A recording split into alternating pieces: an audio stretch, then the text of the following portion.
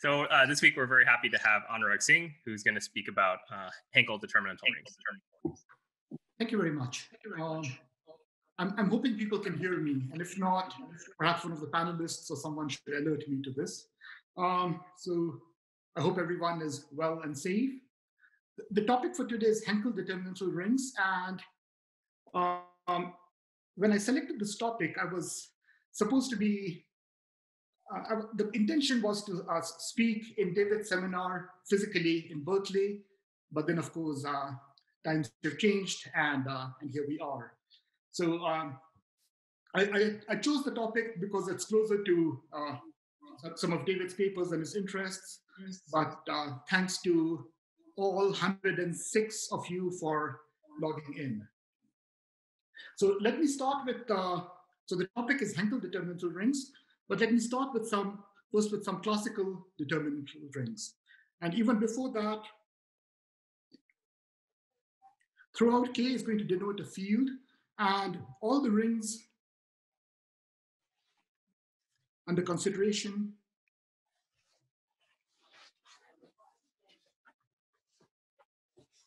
will be finitely generated K algebras. And in fact, uh, even graded ones. So a quick recap of some classical determinantal rings.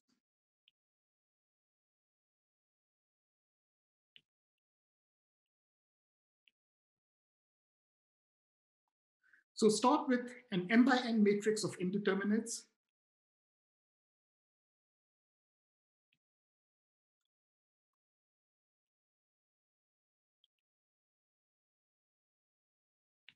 and set R to be the, poly the polynomial ring in those indeterminates modulo the ideal generated by the size t minors of that matrix of indeterminates.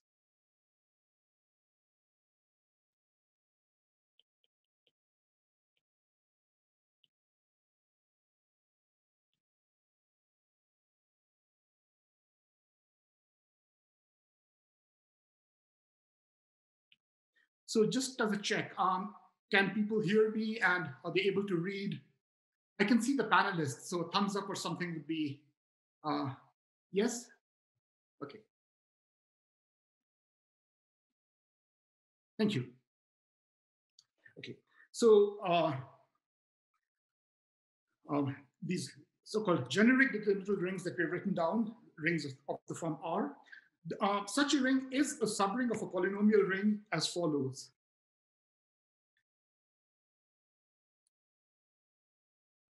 One could take matrices of new indeterminates y and z, where y is size m by t minus 1, and z is size t minus 1 by n, in which case the product matrix yz has rank t minus 1. So its size t minus are 0. So this gives us uh, an isomorphism between the ring, um, between the determinant ring R as we first defined it, and the subring of a polynomial ring in the y's and z's generated by the entries of the product matrix. Anurag, there was a, a suggestion to write a little larger if you can. Okay, I'll try. Yeah. Will do. And if the field K is infinite, this is an invariant ring for a group action on the polynomial ring.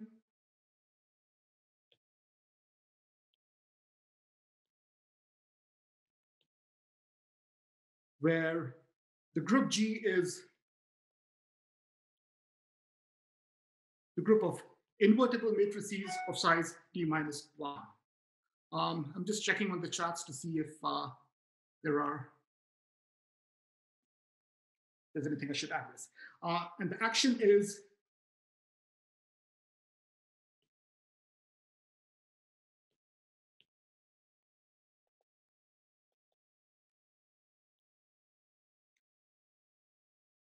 an invertible matrix M takes the entries of Y to the corresponding entries of YM inverse, and for Z, the, the entries of MZ.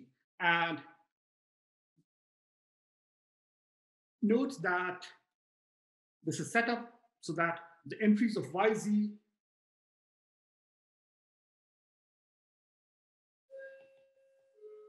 are indeed fixed.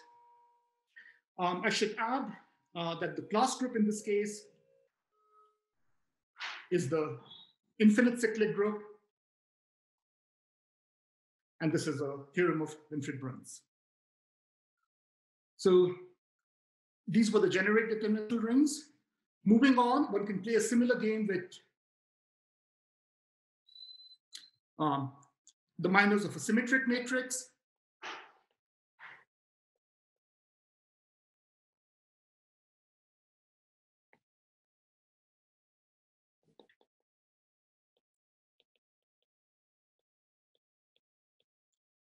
So we set R to be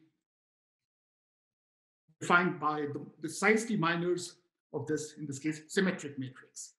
This once R is one, um, again, it is a subring of polynomial ring. Specifically, um, the subring of the polynomial ring in a matrix of indeterminates Y that has size t minus 1 by n. And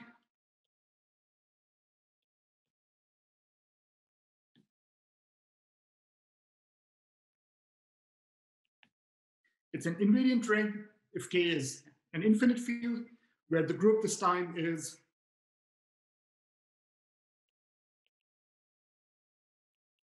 the size t minus 1 orthogonal group and a matrix element as a group element takes the entries of y to the corresponding entries of ny. The point, of course, being that the entries of y transpose y go to those of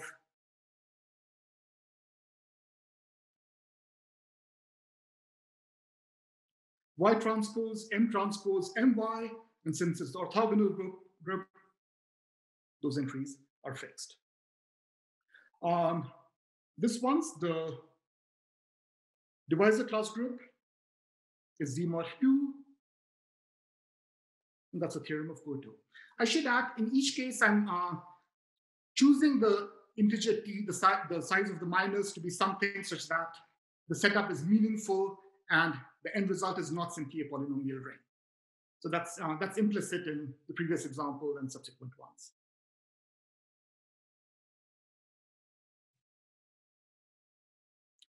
Um, the third of the classical de determinantal rings.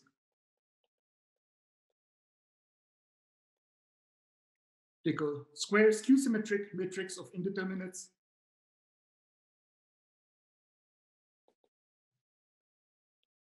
And R to be the ring defined by the Pfaffians of that matrix of a specified even size denoting 2t. So in this case, the subring of a polynomial dis ring description is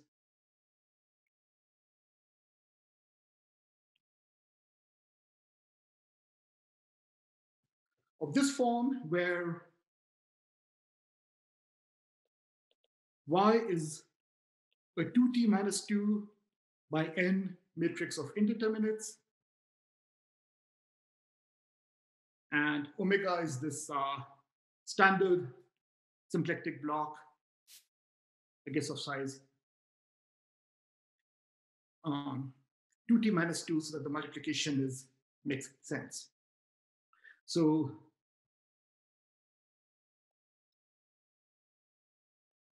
once again, it is an invariant ring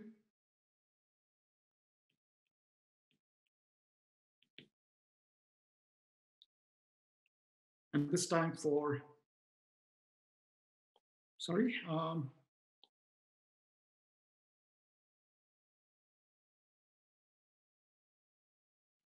the symplectic group of size twice t minus 2. The action being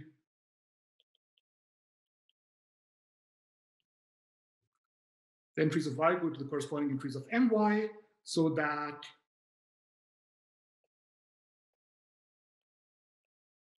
y transpose omega y gets sent to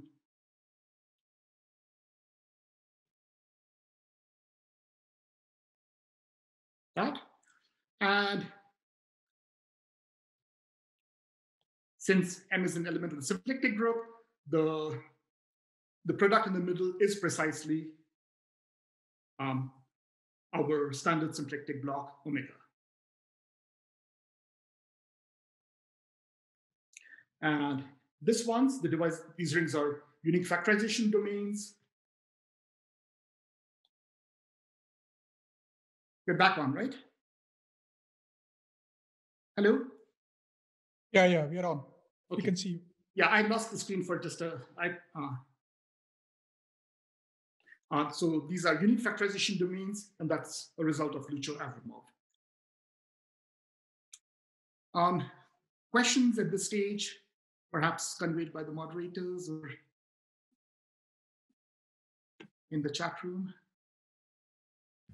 There's no questions yet. Okay. I'll let you know. Thank you. So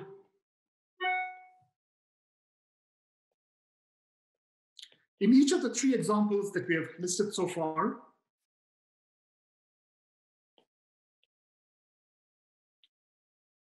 the classical determinantal ring that we've denoted by R, it's normal. There was one question. question about the situation when k is finite. So I'm sorry, David. So when uh, these are invariant rings in the case when k is infinite, but but the normal Cohen-Macaulay and the fact that they are subrings of polynomial rings in a natural way, all of those hold independent of the field. Was that your question, David? I think the question was what hap- what goes wrong with the in- ring of invariants? I see. Sorry. Oh, yes, I see the question. Yeah. Uh, if if K is uh, a finite field, then the um, invariant and action is as we specified, then there are many more invariants. Specifically for a finite group action, the, the ring on which the action takes place and the invariant ring are the same dimension.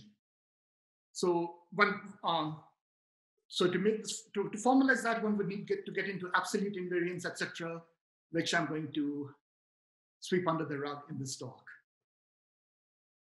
But certainly the, the things that are being listed right now, the normal Cohen-Macaulay, etc., are applicable independent of the field. So in each of our examples, the ring is normal Cohen-Macaulay, and in the case of characteristic zero, the ring has rational singularities. I should say I'll subsequently abbreviate Cohen-Macaulay by CM. Um,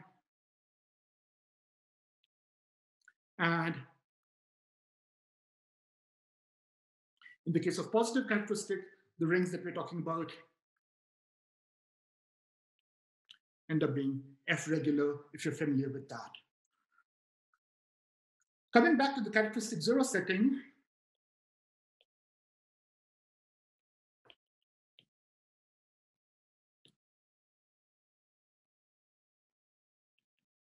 um, in each of our cases, the group G that we took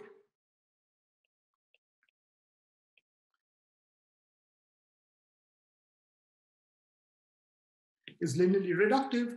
So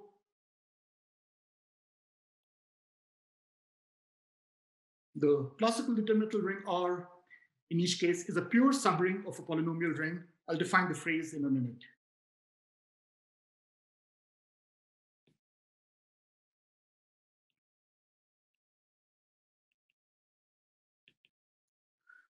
Um,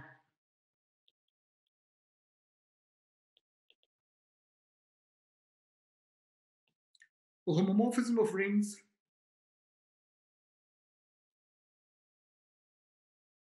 is, is said to be pure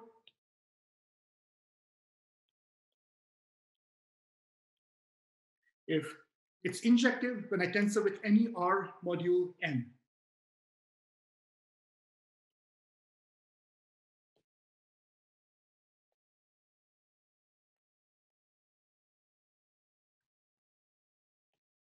So in the characteristic zero situation, all of the each of the classical determinantal rings that we listed, they're pure subrings of polynomial rings, and the properties that we mentioned, Cohen-Macaulay normal rational singularities,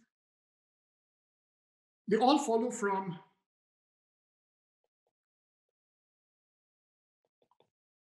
Boutot's theorem that states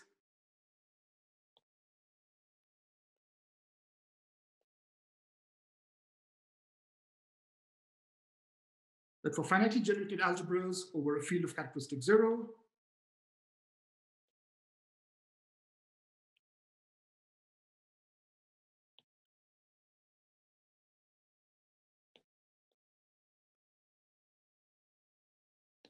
the property of having rational singularities is inherited by pure subrings.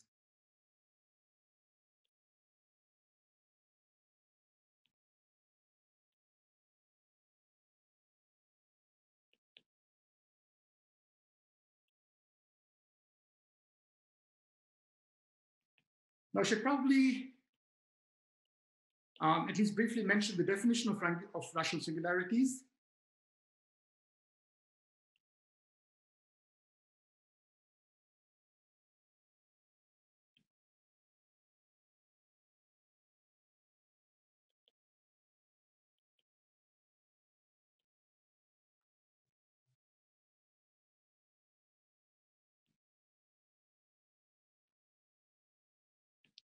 And so normal domain R is to have rational singularities if for a desingularization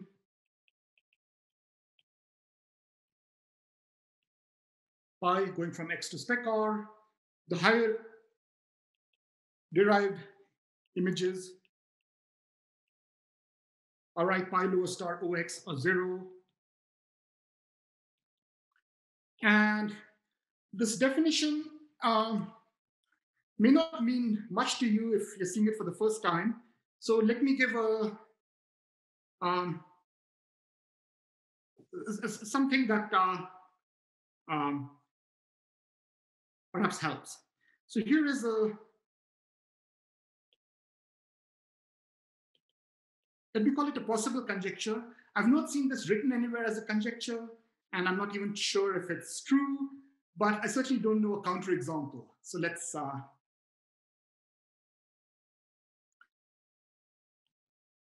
Um, but this is to sort of um, guide you about what rational singularities might be.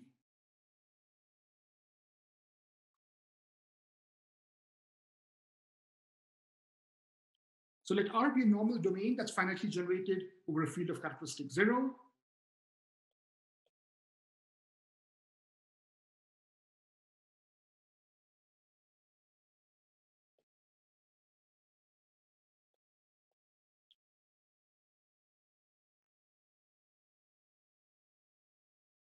Then R has rational singularities if and only if each pure subring of each polynomial extension is Cohen-Macaulay.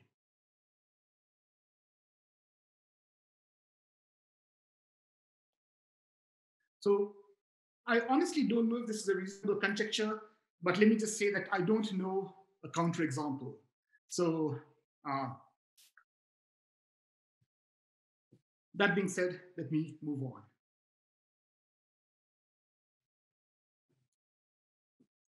Okay, now to get to the topic of uh, um, today's talk, Hankel determinantal rings.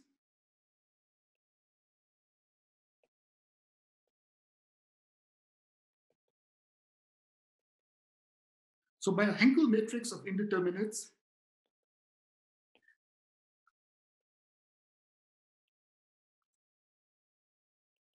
we mean a matrix in which the diagonals in a chosen direction are constant.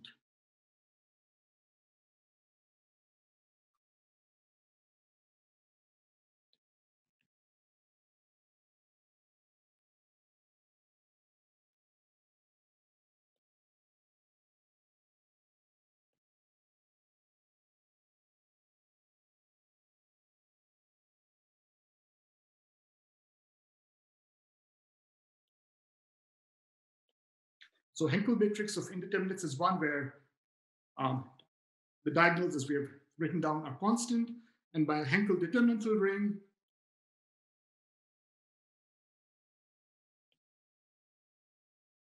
we will mean one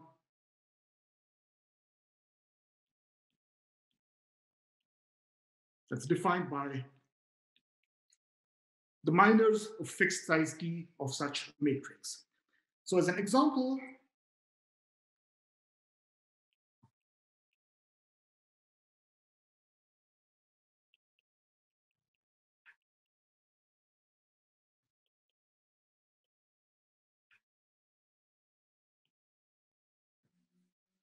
Um, that's Hankel matrix, as is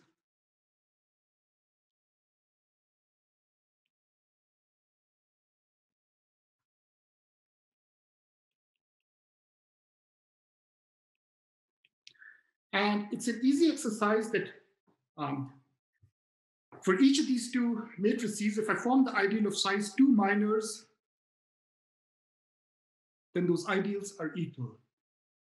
Um, it's not true that the precise set of minors is equal, just that the ideals they generate. It's readily verified in this example, and more generally, that's a result of Gruson and Peskine. Gruson, as you know, passed away earlier this month.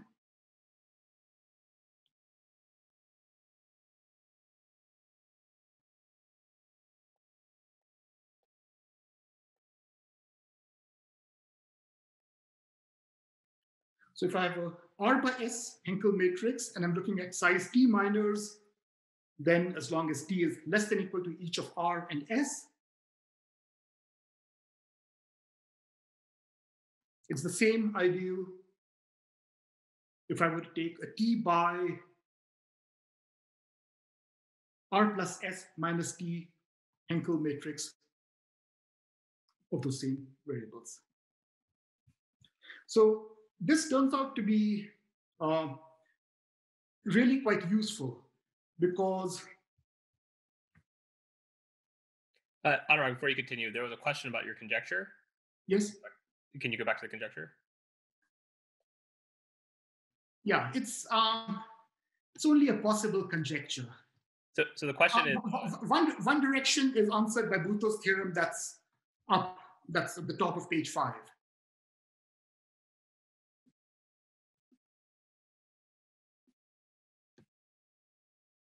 Yeah, the question seems to be, is one direction uh,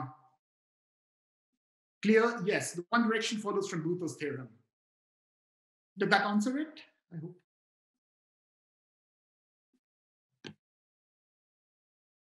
Okay.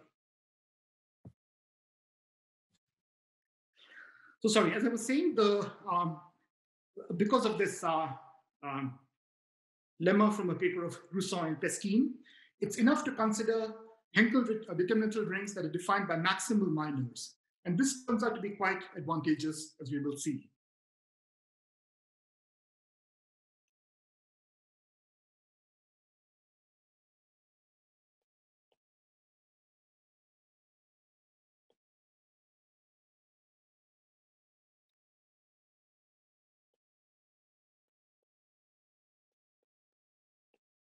So by maximal minors, I mean we've got a size t by n Hankel matrix of indeterminates, and we're going mod the ideal generated by t by t minors, namely the maximal minors. So the advantage here is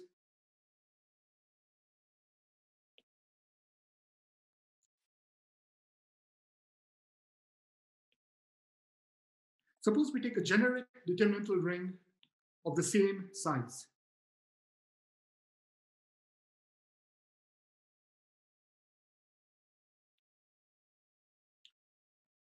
And we subject the entries of y onto those of our Hankel matrix.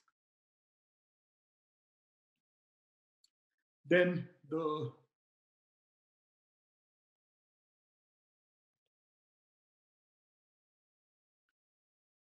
then the kernel is generated by um, by the specializations that we have to make to make the diagonals constant, uh, specifically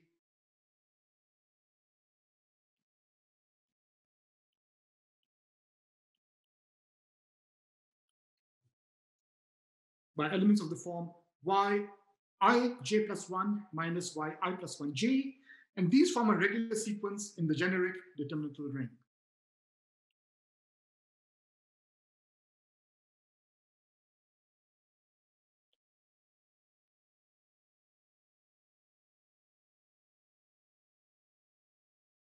So in other words, the exhibiting these as uh, using maximal minors as advantage that these are generic determinantal rings modulo a regular sequence. So, um, so in other words, we're taking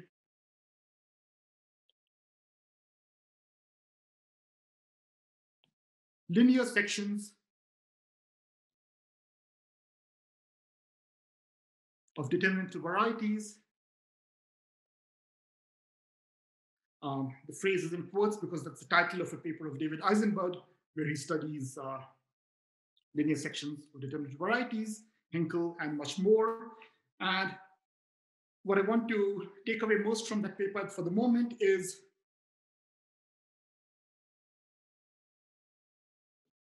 uh, the fact that these Hankel determinantal rings are normal, as is proved in Eisenbud's paper.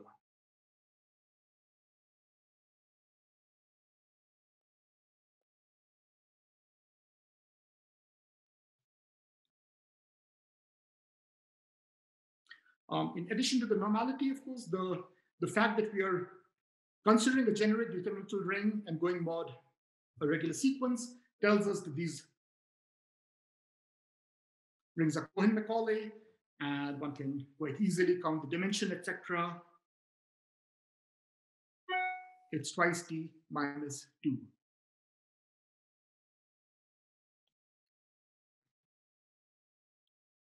Um, next, so, so these rings are normal and Cohen-Macaulay, and that's been known uh, for a number of years. Uh, next, let me move on to divisor class groups and start with a small example.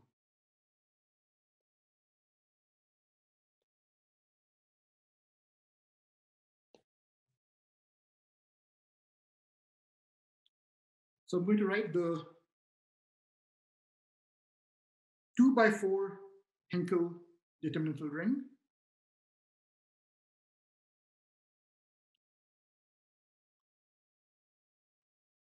I'm taking maximal minors as we always can.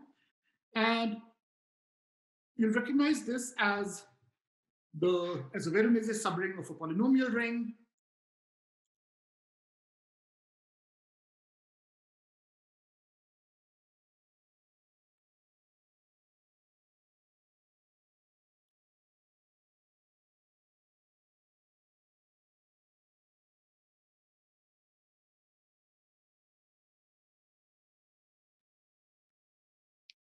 polynomial ring in the indeterminates u and x. And this is the homogeneous coordinate ring.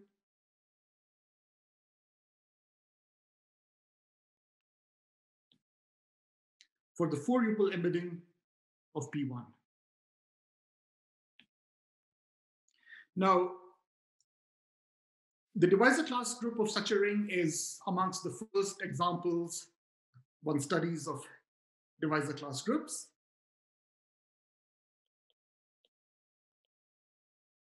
It's Z mod 4.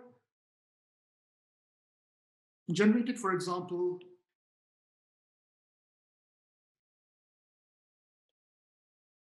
by the entries of the first row in this u to the 4 u cube x formulation.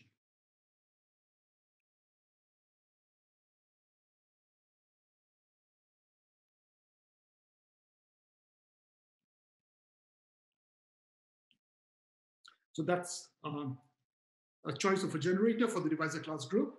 And the other elements of the divisor class group are, of course, the higher symbolic powers of this prime ideal.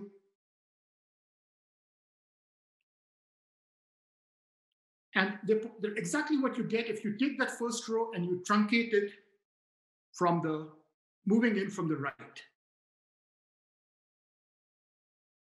So that's the second symbolic power.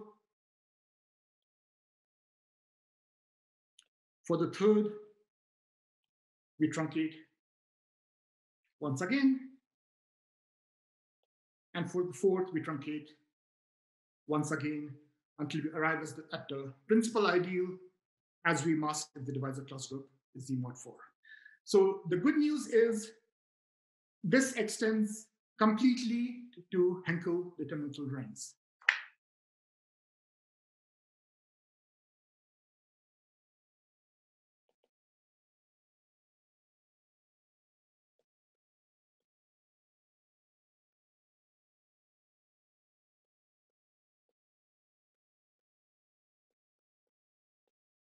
So let R be um, the Hankel determinant ring defined by the maximal minors of a T by N Hankel matrix.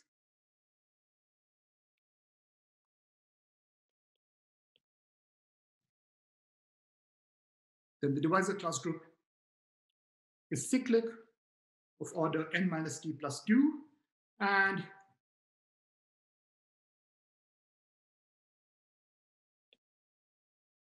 As a generator, one may take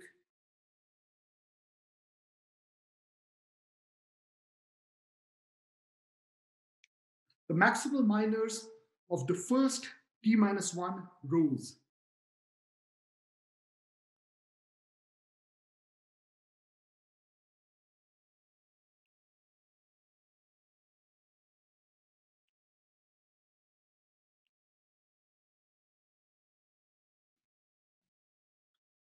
Um,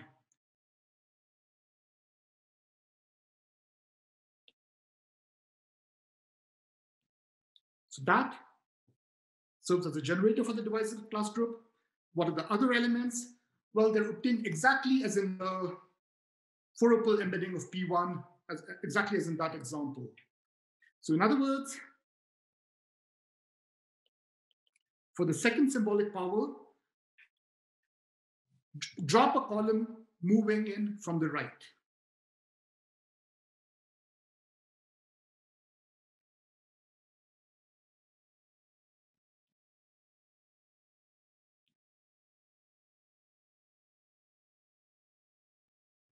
For the third power, drop a column once again, continue.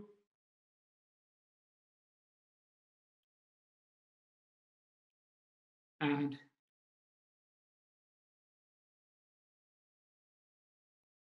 until we end up with the size t minus 1 minor, rather the determinant of a square matrix.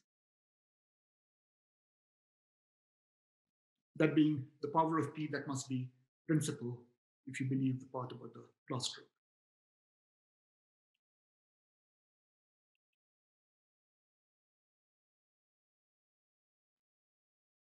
So um, the answer resembles the uh, the rational normal curve as closely as it possibly could. And just as with the rational normal curve, um, here is something that I find quite interesting. Each element of the divisor class group, each symbolic power of P, is, a, is an MCM R module.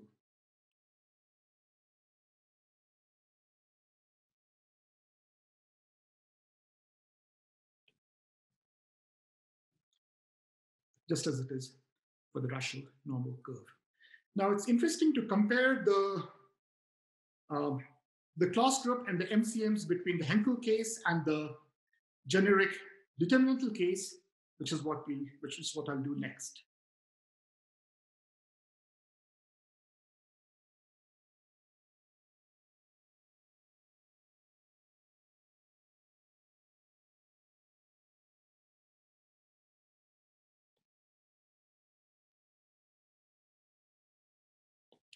So by the corresponding, I mean, for the Hankel, we've taken a T by N uh, Hankel matrix and gone with the maximal minors. So that's what I want to do in the generic situation as well.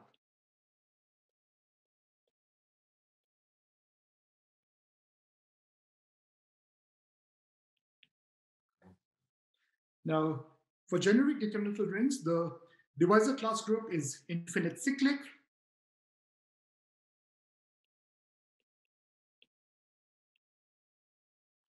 And an infinite cyclic group has two possible generators.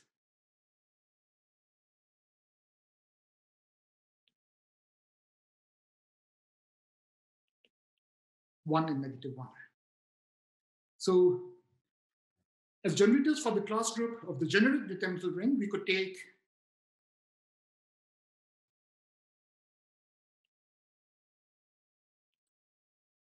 the ideal of maximal minors of the first t minus 1 rows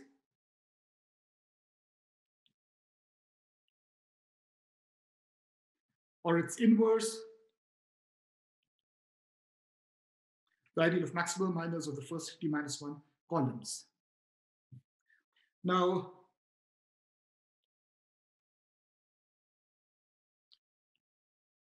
with that notation, the maximal element, the, the MCM, the maximal Cohen-Macaulay elements of the divisor class group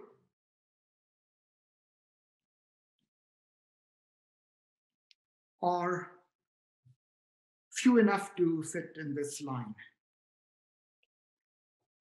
A is the ring itself, and that's uh, Cohen-Macaulay. P is maximal Cohen-Macaulay, although no higher power of P, in this case, the symbolic powers and the ordinary powers are equal in the generic case. No higher power of P is an MCM. Q is also an MCM. Q square is Q to the n minus t is, and that's and everything in between. And then one more. I say one more because this one is the canonical module, so it must be an MCM. But beyond that, there is exactly one more that's an MCM. So it's uh, Anurag, there was a question about what uh, on the previous page, which ones were MCM? Uh, on the previous page, so in the Hankel case, every class group element is an MCM. I'm sorry. I'm sorry, yes. Uh, in, in the Hankel case, uh, when I wrote P to the symbolic I, I should have specified every possible I, every possible element of the class group is an MCM, which is quite different from the generic case where the list is uh, finite. In other words, almost all elements of the divisor class group are not MCMs in the generic case. Now, as we now as we map from the generic to the Hankel case, we are going modulo a regular sequence. So the MCMs map to MCMs. And in fact, we will hit every element of the class group of the Hankel. And we'll have to hit one twice because this class group has order n minus t plus 2, and here we have listed n minus t plus 3 elements. So A, of course, maps to the Hankel determinantal ring R. The what we called uh, um, uppercase P here maps to what was Proctor P in the Hankel case, our fixed generator for the class group there. And when you get to Q, something interesting happens. So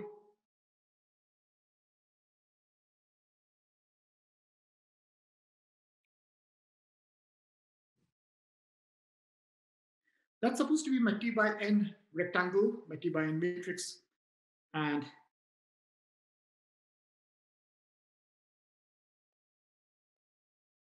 let's say that's, that distance is about T as well, let's say. So Q is the maximal minors of the first T minus one columns.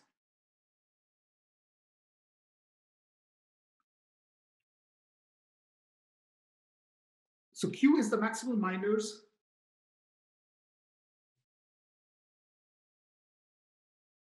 of the red rectangle. But in the Hankel case,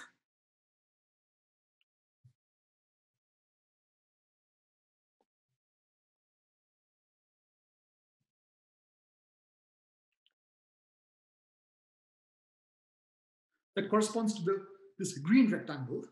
So by the symmetry that we gain in the Hankel case, Q maps to the ideal of minors of one of these truncations of the first t minus one rows, namely the penultimate truncation.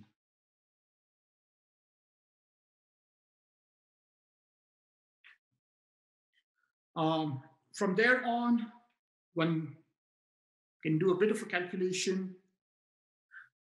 Q squared, which is also which is the same as Q to the symbolic two, maps to something isomorphic to the symbolic n minus t, tth power of p, and so forth.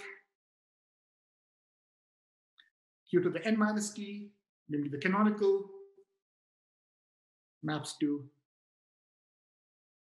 something isomorphic to the second symbolic power of t, which is the canonical module for the Hankel determinantal. And the last one is a repeat of P. Um, so the pigeonhole principle is not false. So that's the story with the uh, with the divisor class group. Um, this is probably a good time to take some questions and and or perhaps a short break. Hello.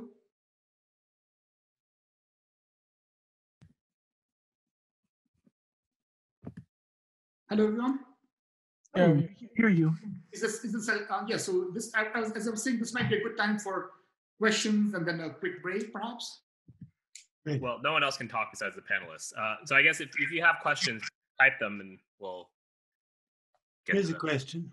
Do you get any um, Ulrich modules this way? Which of these are Ulrich, if any? I don't know. Um, what, what's the answer in the, in the um, rational normal curve case? You, So O of um, minus one is Ulrich, or the you know the sum of the cohomologies, the H Uh-huh. zero, and I think that's the only one.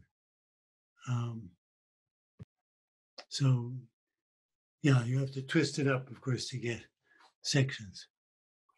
So it's OP1 of minus one, but it appears uh, with sections in in the rational normal curve of degree d, Mhm. you'd have to say oh p1 of d minus one to get sections. And I believe that's all. here. none of the others are. I see. Yeah, I, I don't know the answer. Uh, I, I, um, I don't know the answer, but it's a good question. Yeah.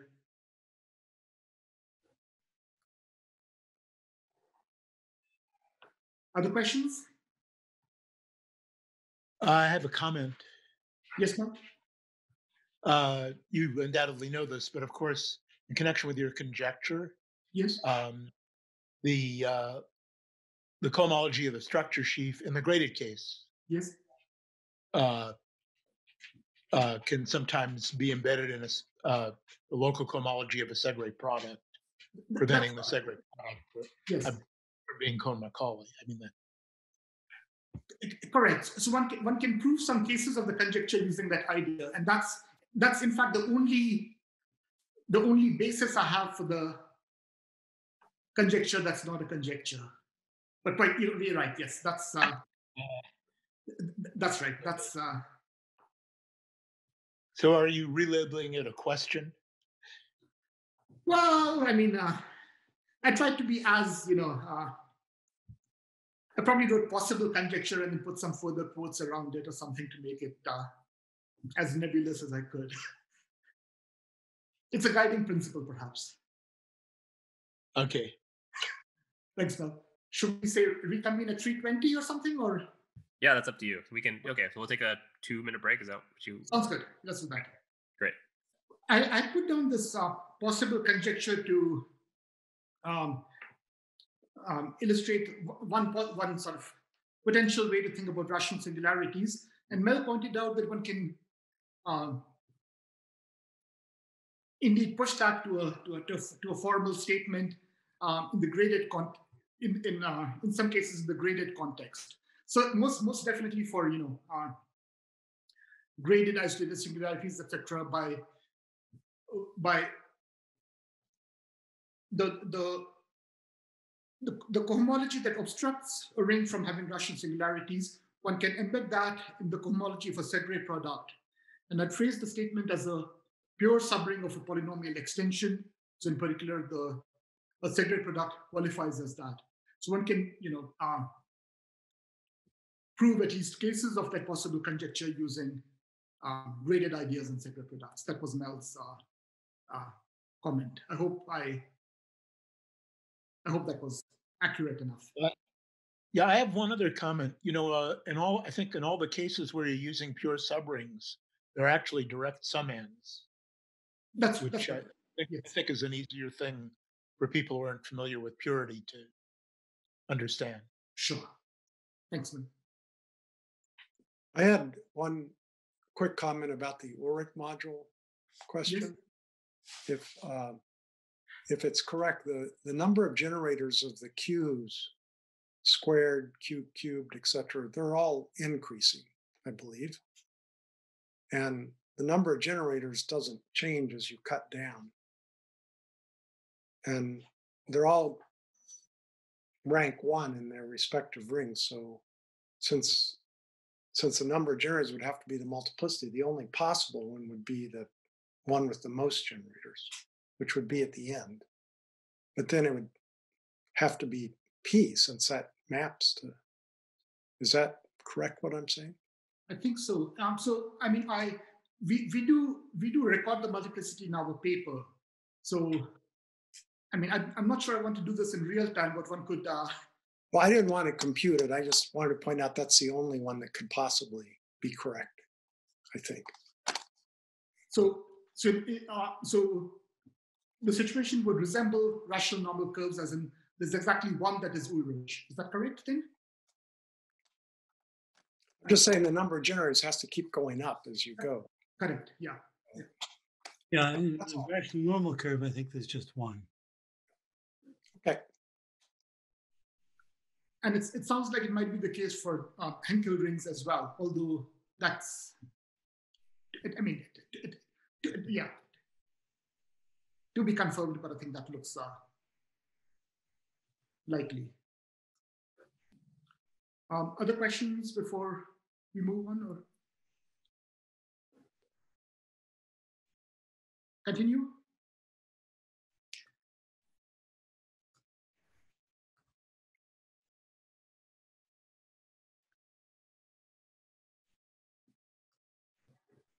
So now uh, in the we had seen the classical determinantal rings um, as subrings of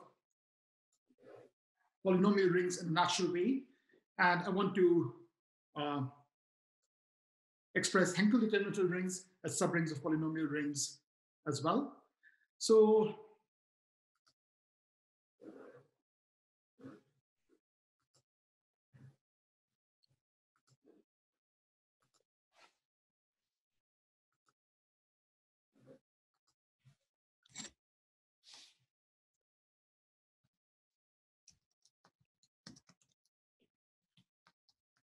So now, once again, let's uh, um, start with uh, with a small example.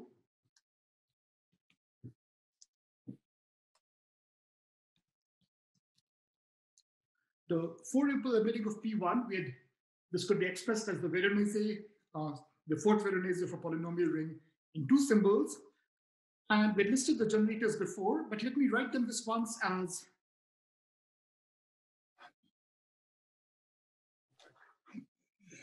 let me arrange them as a three by three Hankel matrix.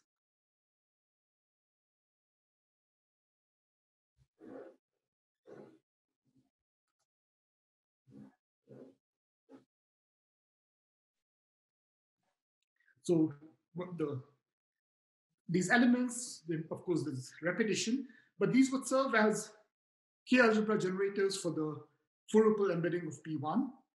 And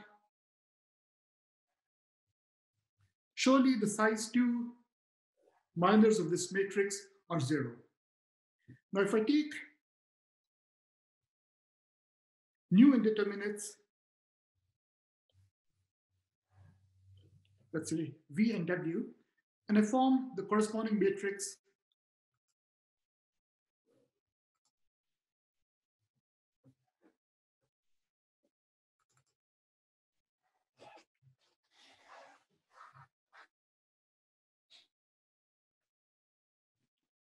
in those variables. Of course, the size two mat the size two minors of that new matrix are also zero. So what if we add these two matrices?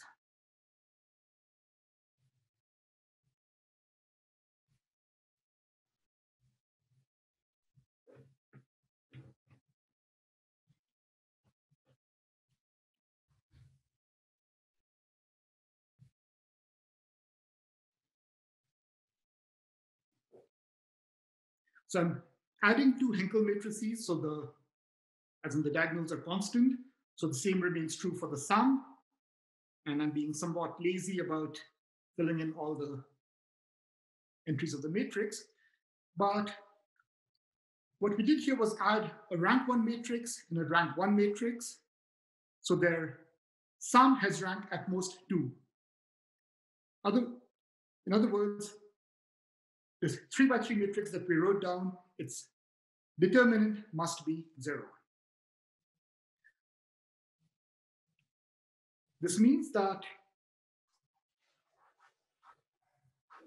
if we take the three by three um, Hankel determinantal hypersurface, we can map, we can, that surjects onto the K algebra generated by the entries of this um, previous matrix.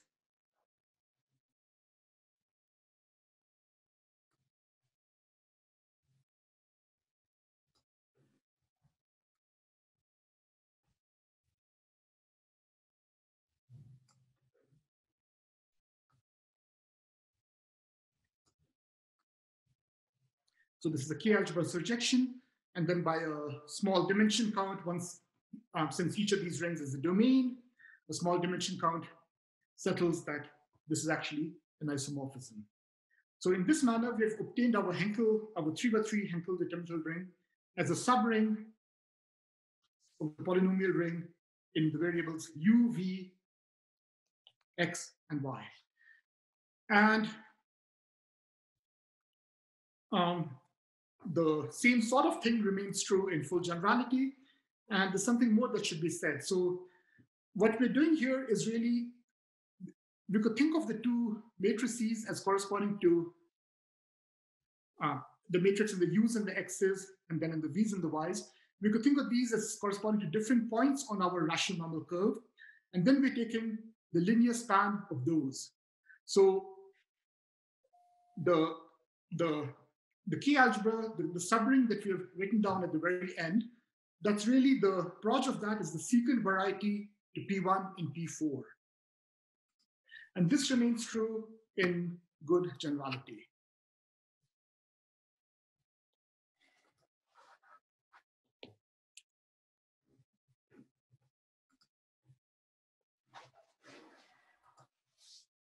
So the T by N Hankel determinant ring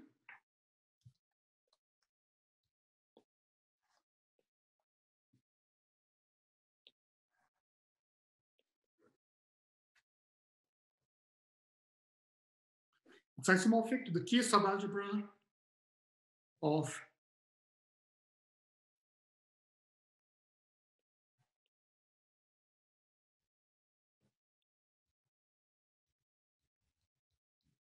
a polynomial ring in twice t minus two variables.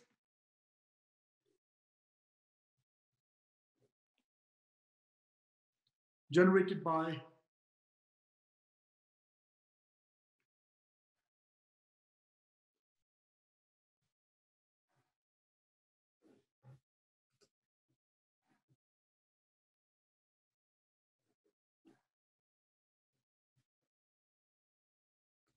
elements of this form where the exponent j is whatever range keeps the exponents non-negative.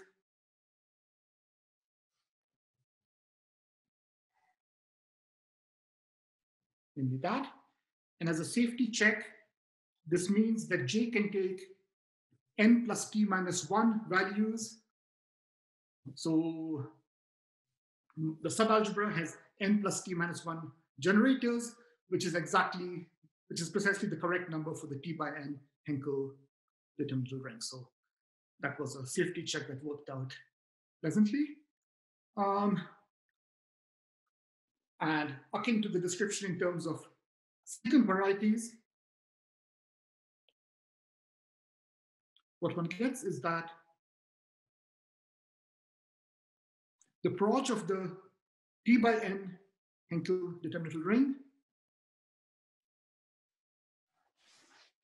is the um, order T minus 2 secant variety to a certain rational normal curve, namely P1 in P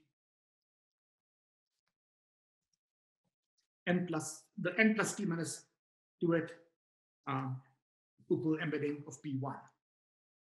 So in this manner, uh, every Hankel determinant ring is a subring of a polynomial ring and in a reasonably natural way, namely in terms of this uh, higher order secant variety description.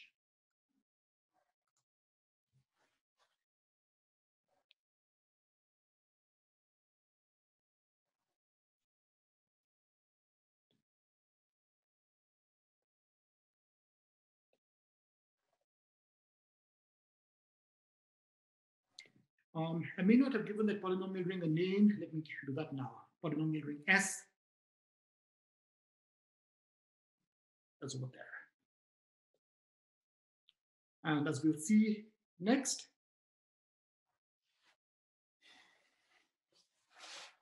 aside from the case of rational normal curves, the Hankel ring is not a pure subring.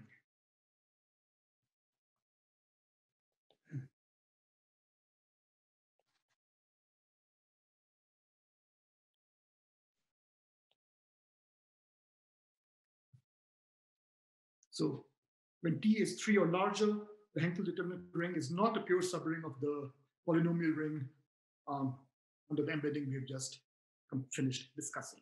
So let me illustrate that in the three by three case and the argument uh, um, in the general case is really quite similar.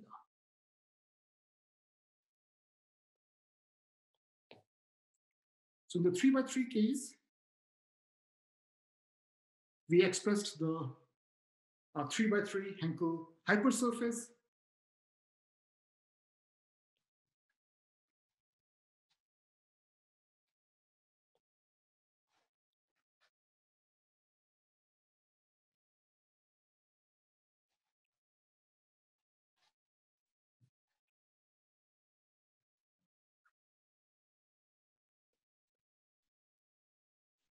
as the K algebra generated by the listed elements.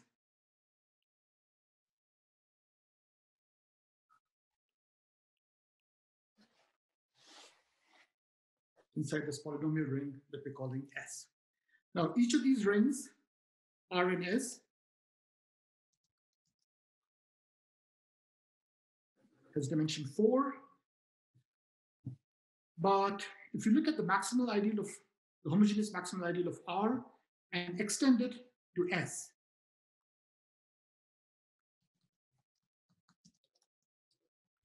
then if one were to specialize uh, u to x and v to y, then all of the generators of the Hankel subring take the form x to the 4 plus y to the 4 after that specialization.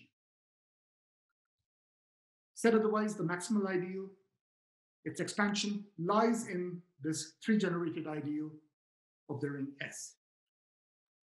So if we were to look at the inclusion of R in S,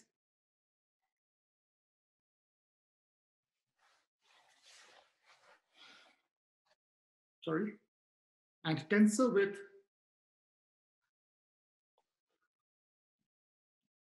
the top local cohomology of the ring R.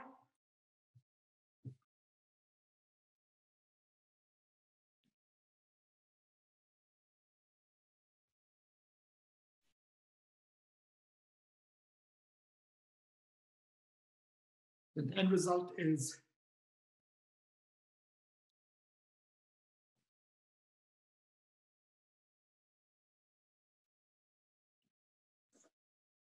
sorry.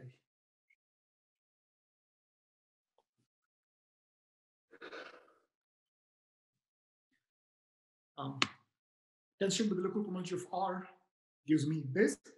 Now, the module to the left is non-zero, as since it's the top local cohomology of our ring, meaning supported with the maximum ideal with the cohomological index being the dimension.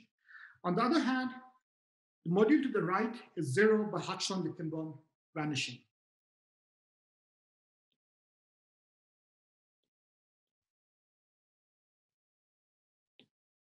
So that tells us that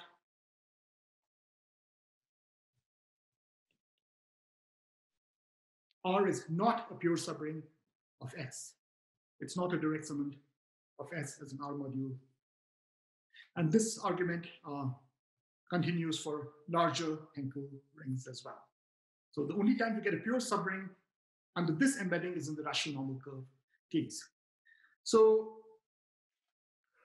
this means that it's hard to conclude, it's hard to apply, uh, at least at the moment, Boutot's theorem and such to conclude um, properties for Hankel determinantal rings, but nonetheless, we can get pretty close using the circle of ideas.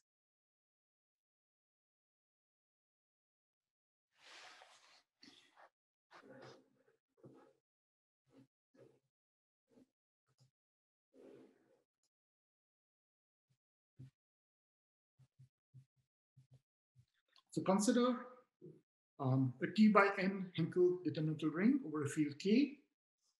So here's what we can prove.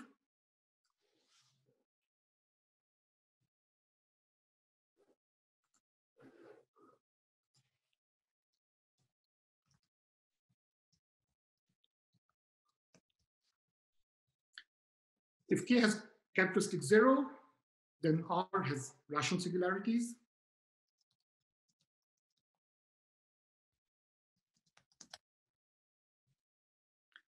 If K has positive prime characteristic, that's at least T, the T being the smaller of the dimensions of our Hankel matrix.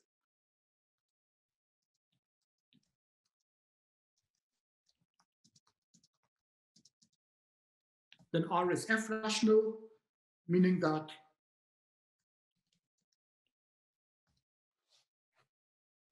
parameter ideals equal their tight closure.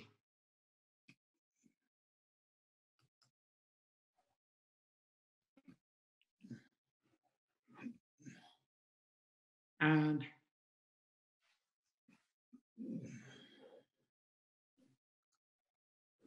in positive characteristic, but with no additional assumptions.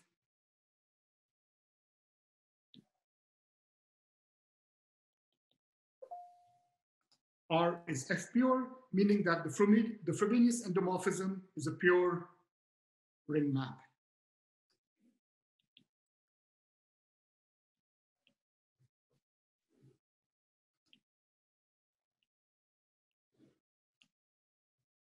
So um, a word or two about the proof of this. So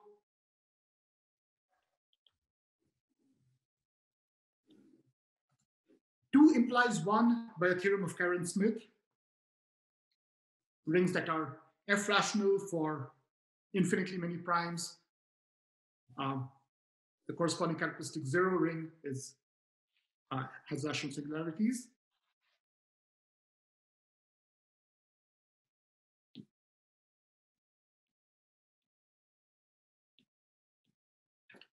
And to prove two,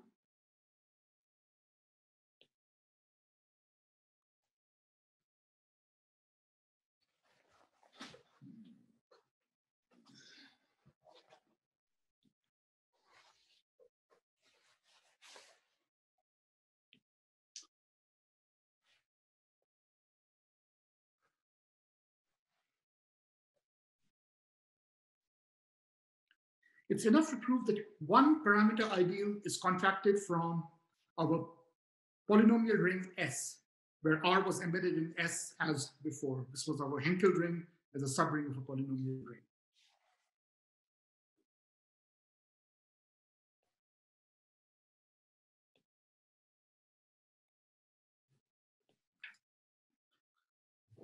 So, and I want to sketch how that goes. So once again, uh, part one of the theorem is immediate from two by theorem of Karen-Smith. For two, namely proving that parameter ideals are tightly closed, it's enough to do this for one parameter ideal, rather to prove that one parameter ideal is contracted from this larger ring S. And um, let me sketch that again in what has more or less become our running example.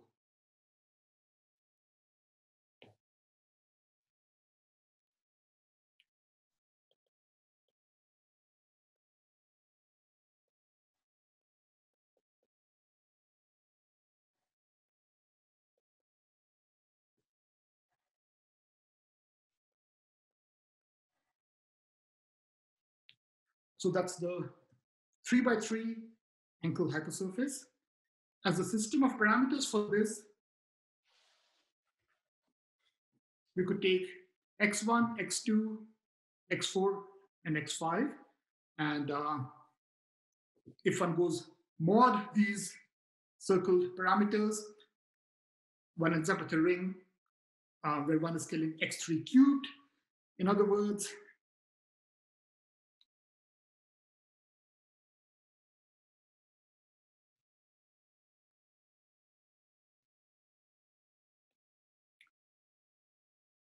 The Socle mode our chosen system of parameters is spanned by x3 square. So I want to prove that the ideal generated by this system of parameters is contracted from the ring S. When I expand to the ring S and contract, it doesn't get any bigger. And for that, it's enough to show that the Socle does not get into the expansion contraction. Now, in our subring coordinates, the corresponding elements are u to the 4 plus v to the 4, u cube x plus v cube y, ux cubed plus vy cubed, and x to the 4 plus y to the 4, and x3 squared corresponds to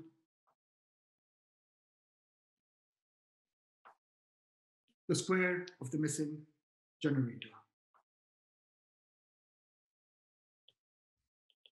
So what we want then, what we need to verify is that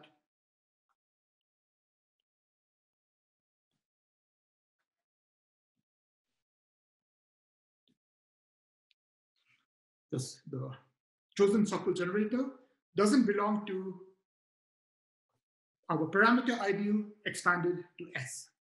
Now the parameter ideal expanded to S, that's the ideal generated by those four elements. And it's immediate that this is contained in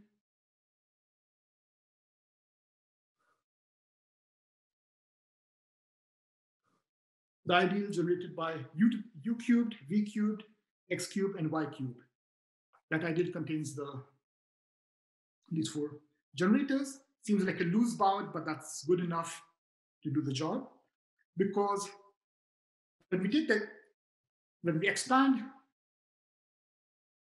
when we take the square, what we have here is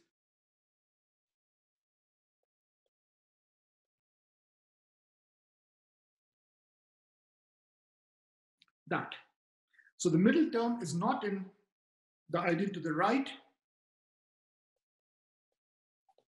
as long as 2 is not 0. So this might seem rather naive, but it's precisely why we needed this hypothesis. Um, in our example, t was 3, and if the characteristic is 3 or more, um, the calculation proves F rationality. So as long as we were not in characteristic two, um, this argument works. Um, in general, the socle may not be one generated. It will not be aside of, from the square cases, but uh, some variation of this argument does the job to wrap up uh, the theorem. So in the, la- in the uh, last few minutes, let's discuss, to discuss um, the following question.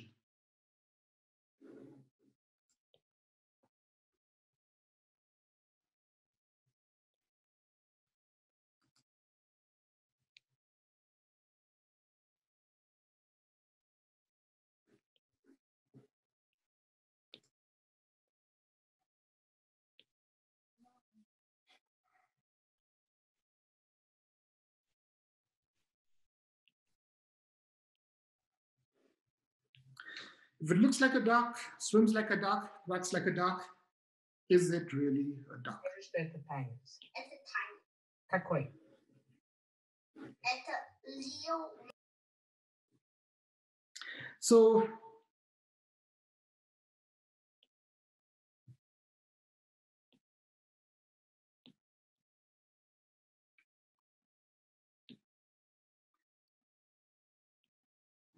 So Hankel determinant rings share several properties with pure subrings of polynomial rings slash characteristic zero invariant rings.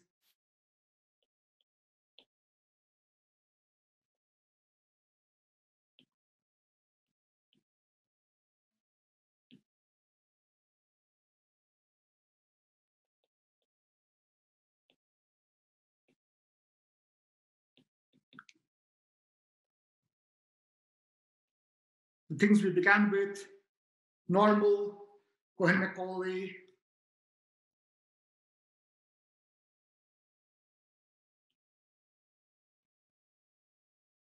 better still, rational singularities. The class group for Hankel rings as finite, in particular, finitely presented. So what I have at the back of my mind here is that uh, for a connected algebraic group over the complex numbers acting on a polynomial ring, the invariant ring is finitely presented. Here it's finite. And something that's true more generally for pure, for pure subrings of polynomial rings is that finite order elements of the class group are MCMs.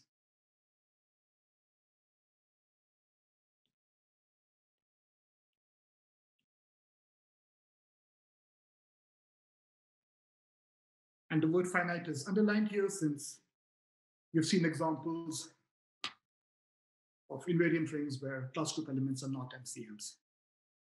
So Hankel determinant rings have um, several features in common with characteristic zero invariant rings, but the question remains,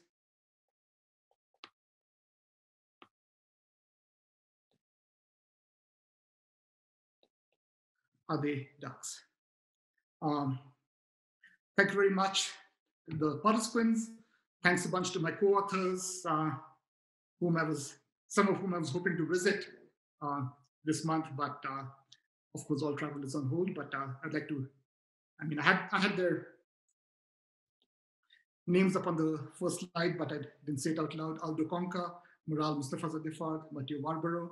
It's been a lot of fun working with them on this project. With that, uh, questions from the participants.